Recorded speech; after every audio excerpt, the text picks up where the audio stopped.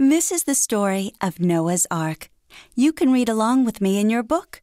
You will know it is time to turn the page when you hear this sound.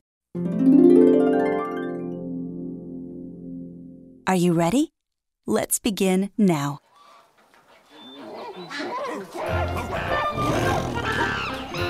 Noah had never seen so many animals in his life. There were thousands, and they were all in his backyard, waiting to board the ark. As his sons applied the last coat of tar to the ship's joints, Noah checked the sky again. Uh oh, I see a big rain cloud rolling in from the west. Hmm. Noah cleared his throat. Ahem! Attention, everyone! It's time to start boarding. So let's go two by two up the gangplank.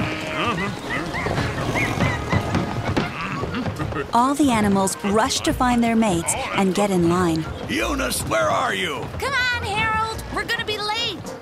Noah's sons put the buckets of tar away while their wives grabbed the last loaves of bread out of the oven. Meanwhile, Noah's neighbors came by to watch the whole affair.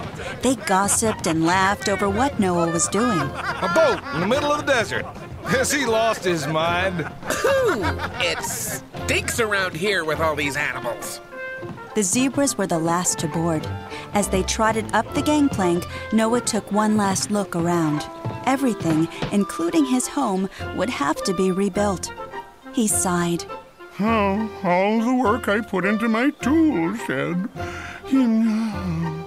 But his wife thought he spent too much time in the tool shed. It's God's will, Noah. He shut the ship's door as the sky grew dark.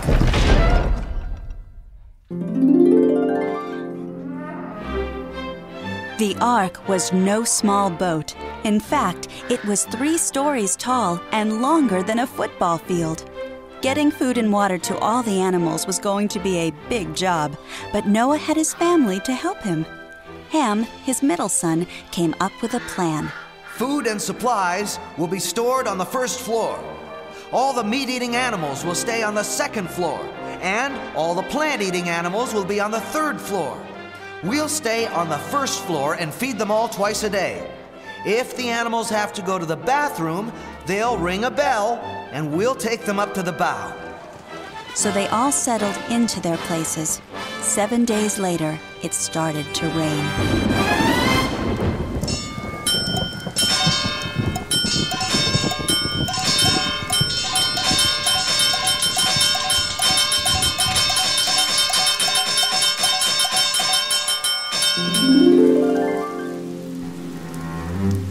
At first, the rain was nothing more than a mist. Then it fell gently for a little while.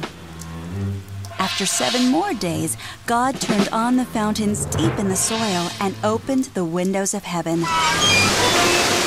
A downpour of huge drops pelted the earth. Pools of water gathered everywhere. The wind howled, lightning flashed, and thunder shook the boat. As the waters continued to rise, the ark rose with them. Every valley was filled and every town was covered.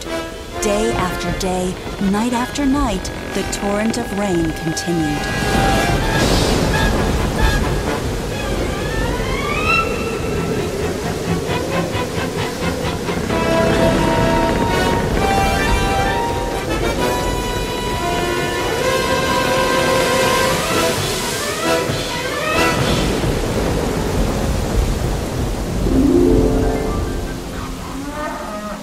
By the third week, the ducks were unhappy. Can't we go outside and paddle around for just a little bit? We won't get lost. The camels were grouchy. Everything is damp and covered with mold. It's bad for my allergies. My joints ache.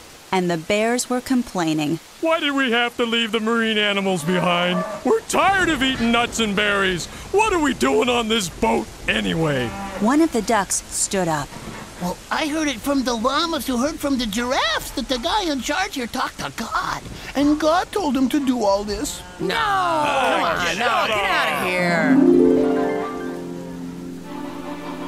Noah's dog, Shep, spoke up. That's right. I was there. I heard the whole conversation between God and my master. God said, I will cause it to rain upon the earth forty days and forty nights, and every living substance that I have made I will destroy from the face of the earth. But you, Noah, have been a good man, so make thee an ark of gopher wood. Come into the ark with thy wife and thy sons and thy sons' wives, and bring two of every kind of creeping thing on the earth, a male and a female. The camels bellowed. What for? Shep continued. God said the earth had become an evil place. Too much greed, too much hatred, too much fighting. He wanted to start from scratch. The female dog pricked up her ears. You mean everyone else got the axe? That's right. The ducks waddled forward and talked in unison. We, must, have done something right to be here. Everyone nodded. Then we'd better stop complaining. A hush fell over the animals, except the snake that simply said,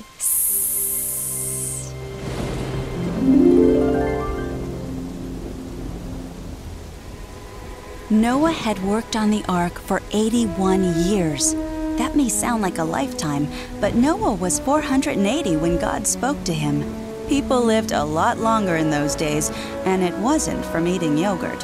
It was because they lived a good and honest life. And so, for 40 days and 40 nights, heavy rain poured down. The water rose until it covered the mountains, and everything on earth died. But Noah, his family, and the animals in the ark were safe. God made sure of that.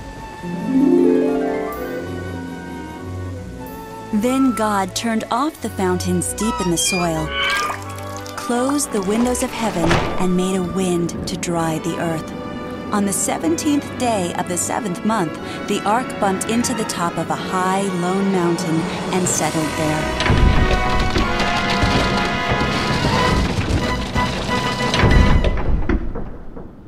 Noah opened the window of the ark and let a dove fly out. She returned feeling discouraged. I couldn't find a dry place to rest my wings. No! Noah took the dove back in. Seven days later, Noah asked her to look again. This time, she returned with a twinkle in her eye and a branch from an olive tree in her beak. This got everyone's hopes up.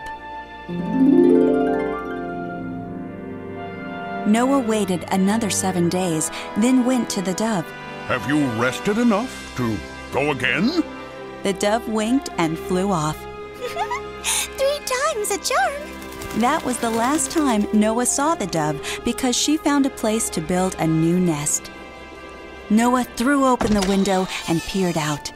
The ark was resting on dry land.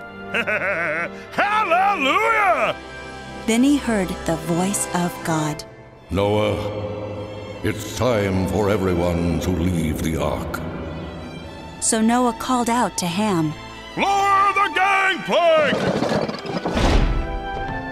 And instead of stampeding wildly, the animals politely filed off the boat. They said goodbye to Noah and went out into the world to start anew.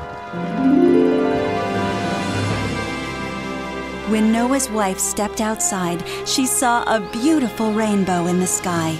Noah, look! Yes, it means that both God and I honored our agreement, and that God will not destroy the earth again.